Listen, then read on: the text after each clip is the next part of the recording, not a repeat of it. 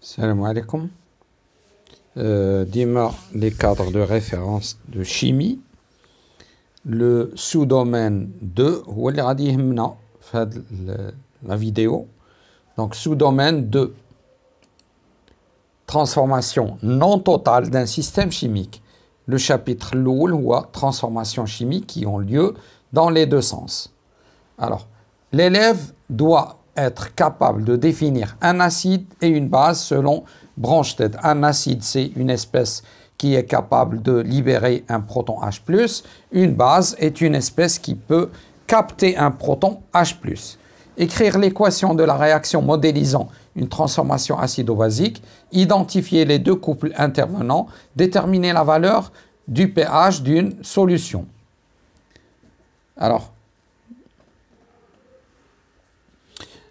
l'élève doit aussi être capable de calculer l'avancement final de la réaction d'un acide avec l'eau, connaissant la valeur de la concentration et du pH de la solution de cet acide et le comparer avec l'avancement maximal.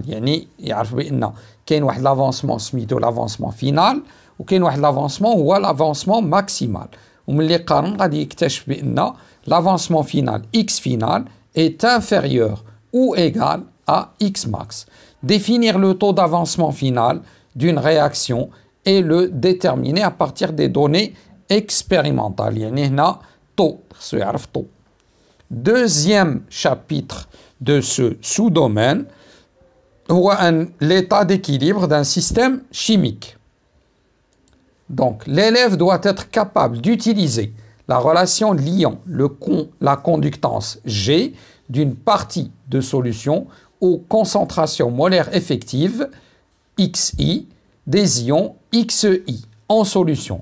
Savoir que lorsque l'état d'équilibre du système est atteint, les quantités de matière n'évoluent plus et que cet état d'équilibre est dynamique. يعني خص يعرف بان كاين اللي كيوقفوا قبل ما نوصلوا لاكس ماكس Idn sabab justement, ce sont des réactions qui se font dans les deux sens.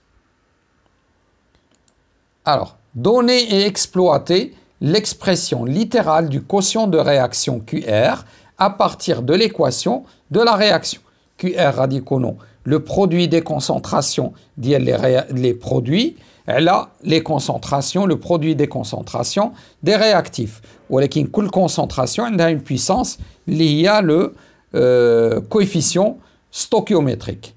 Savoir que le quotient de réaction QR équilibre associé à l'équation de la à l'équation pardon à l'équation de la réaction à l'état d'équilibre d'un système prend une valeur indépendante des concentrations et nommée constante d'équilibre. Donc la constante d'équilibre YK. Savoir que pour une transformation donnée, le taux d'avancement final taux dépend de la constante d'équilibre et de l'état initial du système. Donc taux dépend de deux choses, la constante d'équilibre et l'état initial du système. Le troisième chapitre d'Yelhed, le sous-domaine, les transformations associées à des réactions acido-basiques en solution. Donc, le troisième chapitre d'Yelhed, le sous-domaine 2.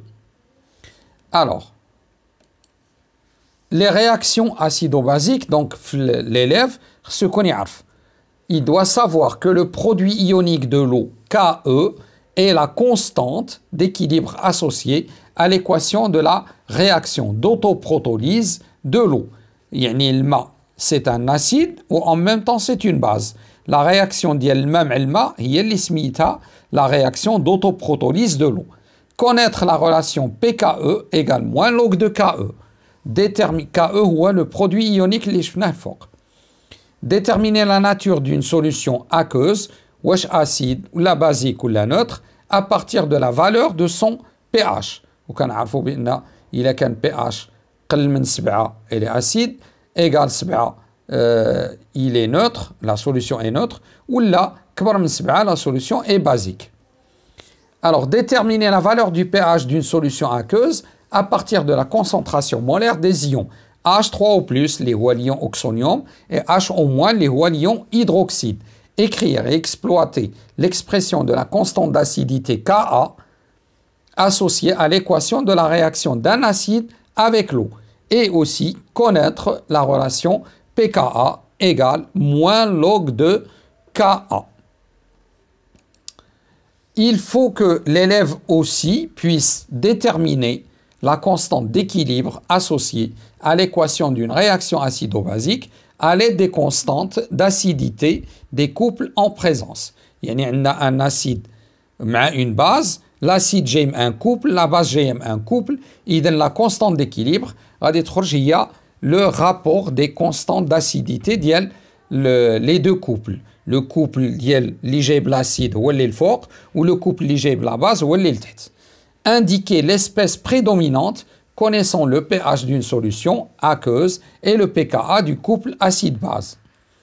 Exploiter le diagramme de prédominance et de distribution des espèces acides et basiques présentes en solution.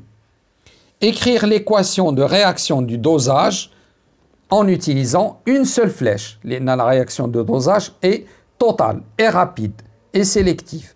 Connaître le montage expérimental d'un dosage acido-basique exploiter la courbe ou les résultats du dosage donc هاد الحوايج كلهم خص التلميذ يكون يعرف يديرهم دونك هنا الدوزاج حاجه شويه نسبيا جديده عليه اسيدو بازيك اما الدوزاج كدوزاج يعرفو من قبل الوغ